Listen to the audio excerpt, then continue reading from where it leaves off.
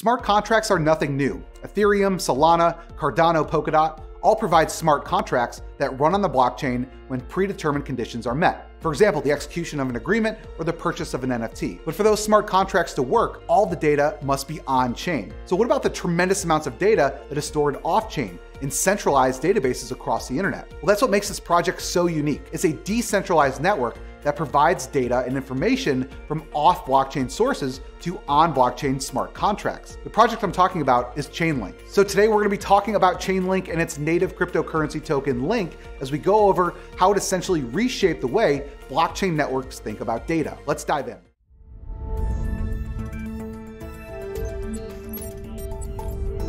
Hey, it's Mark Thompson from CryptoMade, and today we're going to be covering Chainlink, along with its various use cases and solutions it delivers. But before we go too far into the video, remember to hit that like button, subscribe to our channel, and turn on notifications so you always get alerted when I post upcoming videos. Keep in mind that I am not a financial advisor. This content is used for educational and informational purposes only. It's important to talk to a financial advisor before making any investment decisions. And with that out of the way, let's go ahead and get started. There's a few things that you need to know just so you can fully understand Chainlink's functionality a bit easier. The first is smart contracts. As I mentioned before, these are programs that are stored on the blockchain, which run when specific conditions are met. They are utilized to automate the execution of agreements so that all participants can be certain of the outcome without the involvement of an intermediary. The second is blockchain oracles. These are devices or entities that connect a blockchain network to data that exists outside of it. They can enter every data input through an external transaction and be sure that the blockchain contains all the information. They have also been dubbed blockchain middleware, and they are the bridge between the two worlds. So what's unique to Chainlink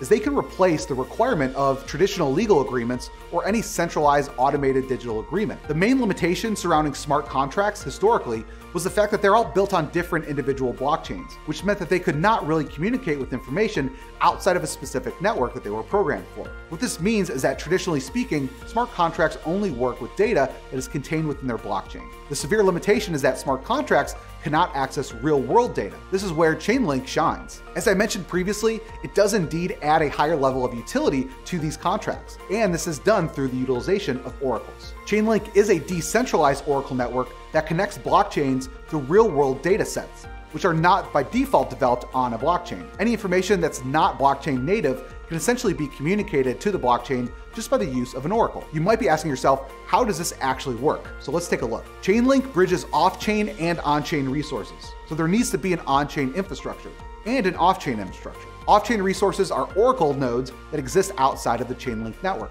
but are still connected to the external blockchain. A majority of the work here is done by the off-chain oracles when they collect the data requested by the user, and then it passes through what is known as a Chainlink core. This core is software responsible for the creating of a connection between the off-chain data and the Chainlink network. This core can then retrieve the processed data and deliver it to the on-chain oracle. The on-chain oracle then considers the user's request for the off-chain data submitted to the blockchain and processes it after it gets routed into the smart contract. Then there's the Link token, which is the platform's native cryptocurrency. It's used as a means of payment for the operators within the system. The value as well as the demand for these Link tokens is derived from the node operators that are available to provide off-chain services. Now you might be wondering how all this can be used in the real world specifically for use cases not natively developed on top of blockchain technology. Well, Chainlink can be used in many industries. For retail or bank payment information that can trigger a smart contract, and utilize the functionality of the blockchain. They can also be used for location data when it comes to supply chain tracking, where each movement can trigger a smart contract and log the data. They can even be used to retrieve weather data, which can calculate premiums in the field of insurance. It's important to note that Chainlink does not have its own native blockchain, but integrates with multiple blockchains simultaneously and provides all of them with up-to-date information streams. However, its native cryptocurrency token Link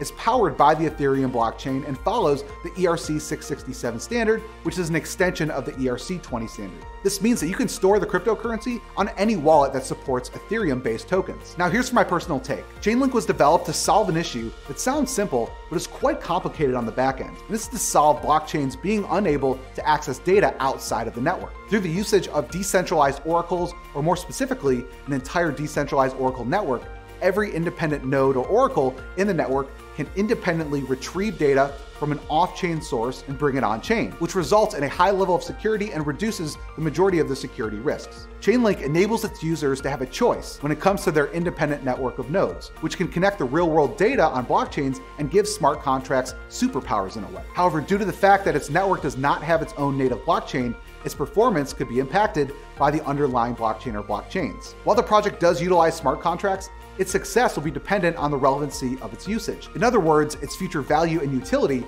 will be dependent on if it's required in a project or not. I believe it's in the top 30 crypto projects in terms of market cap because of its unique ability to take centralized data and move it on chain. I think the future looks extremely bright for Chainlink as we see more institutions and businesses looking to take their data and move it to the blockchain. So what about you? Have you invested into the Link cryptocurrency yet? If you ended up enjoying this video, make sure you hit the like button and subscribe to our channel for more breakdowns on other crypto projects, including updates on everything that's going on in the industry.